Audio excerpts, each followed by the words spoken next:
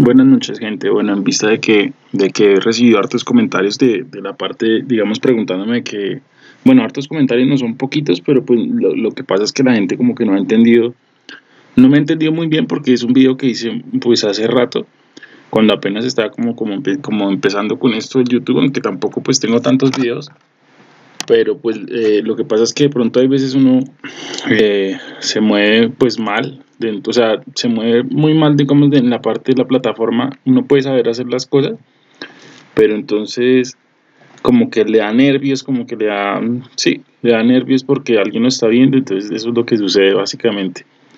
Entonces pues voy a hacer este otro video explicando eh, cómo se puede hacer para...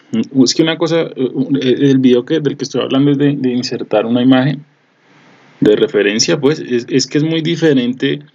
Mucha gente se confunde, es que una cosa es una imagen de referencia para visualización y otra, y otra cosa es una imagen de referencia para utilizarla como un plano, ¿sí?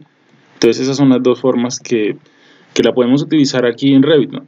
Entonces vamos a utilizar aquí un nuevo proyecto, vamos a crear un proyecto, en la, puede ser cualquiera, pero pues podemos, eh, para, para, hacerlo más, eh, digamos en la arquitectura, tiene más organizado pues las cosas para arquitectura. Entonces damos OK.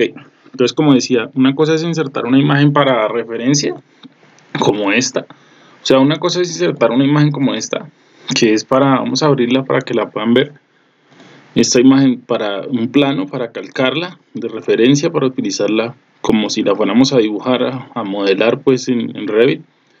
Y otra cosa es insertar una imagen para verla, así como esta, para verla pues que es lo que yo tenía, lo que yo expliqué en el video ese, si yo en el video ese expliqué cómo insertar una imagen para visualizarla y guardarla en el proyecto, que es muy diferente porque esto pues la dibujamos, sí, la usamos para calcarla y esta pues nada más da para visualizarla. Vamos a, a cerrarlas todas otra vez.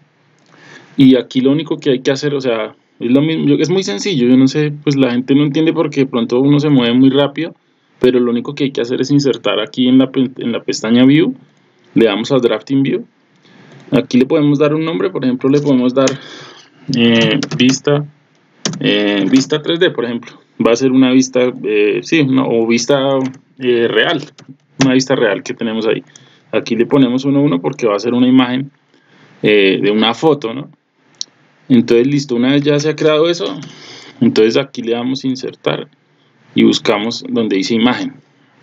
Y ahí donde dice imagen, buscamos ahora pues en nuestro computador, en nuestro PC, en un laptop, en donde que tengan pues, en el desktop, yo la tengo. Eh, se llama aquí pues vamos a copiar esa porque pues no me la sé de memoria pero pues ahí está simplemente buscan dónde está la imagen ¿sí? y, y, se aseguran de que como esta va a ser la referencia entonces digamos que va a ser este render esto eh, bueno esta foto que parece no me ha dicho una esta foto que, que, es la que necesitamos ver por digamos de referencia como quedó al revés pues la rotamos ¿sí? es muy fácil listo entonces aquí ya puede, digamos, necesitamos ver alguna referencia, digamos, de este radiador o, o estas, o estas sillas o, o eh, lo que necesiten ver, digamos, eh, un elemento de piso. Esta imagen ya queda guardada aquí en Drafting View. Entonces esa es una, una forma de insertar una imagen de referencia aquí en Revit. Estoy en Revit 2017 pero eso funciona desde el Revit 2012, desde el 2010 en adelante es la misma forma y, y es igual pero es, es, es igual. Entonces, listo, aquí ya tenemos esa vista, la podemos dejar ahí, la podemos cerrar, de todas maneras ya está almacenado en el proyecto.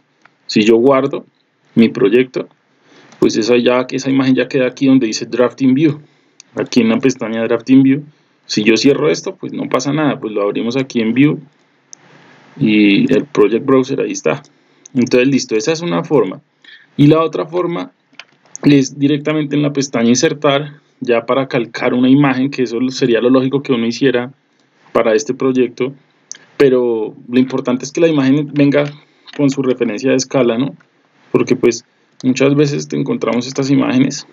Este es un apartamento en Manhattan, en Estados Unidos, y, y pues no tiene la referencia, yo lo tomé para, para hacer la modelación, pero no tiene la referencia de la escala. Entonces nos toca, pues nos toca como los planos están mal dibujados porque eso debería tenerlo, pero no lo tiene. Esto es una revista profesional, pero no lo tiene. Muchas veces pasa eso, ¿no? Eh, entonces, como no lo tiene, pues vamos a escalarla. De paso, digamos, esta imagen ya queda aquí insertada, eh, ya está insertada aquí dentro del, dentro del entorno de Revit. Esta imagen la podemos pinear, la podemos aquí poner el pin y se queda bloqueada. Pero antes de bloquearla, vamos a escalarla. Entonces ahí de paso aprenden una vez a cómo se escala y, y, en poco tiempo, porque pues igual es que explicar tantas cosas en poco tiempo siempre es difícil, gente. Y, y sobre todo si la gente está empezando, pues le queda más difícil, ¿sí?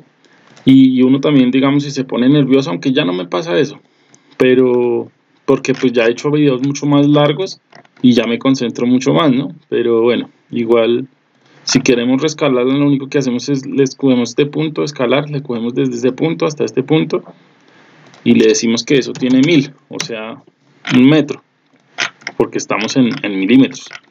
Y listo, ya aquí tenemos la imagen, inclusive este proyecto de pronto lo llevo más adelante para, para hacer la modelación, pues que es un, es un proyecto de una, de una firma pues de, para Estados Unidos en Manhattan.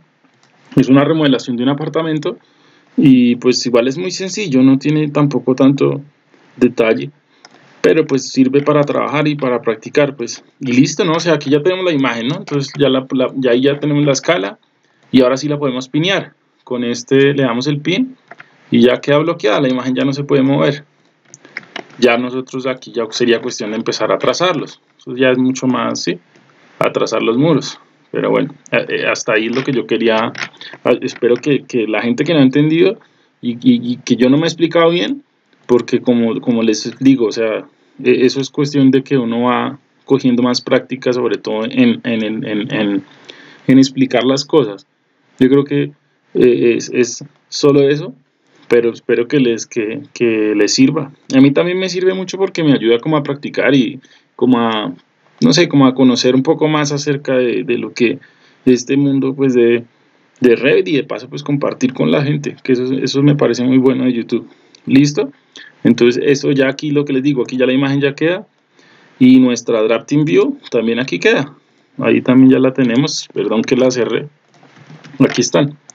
Nuestra Drafting View para referencia, esto sería una imagen de referencia y esto también sería una imagen de referencia, pero pues para calcarla como, como un plano. Entonces, pues hasta ahí ya eso, eso es. Eso es todo, ¿listo? Gracias. Bye.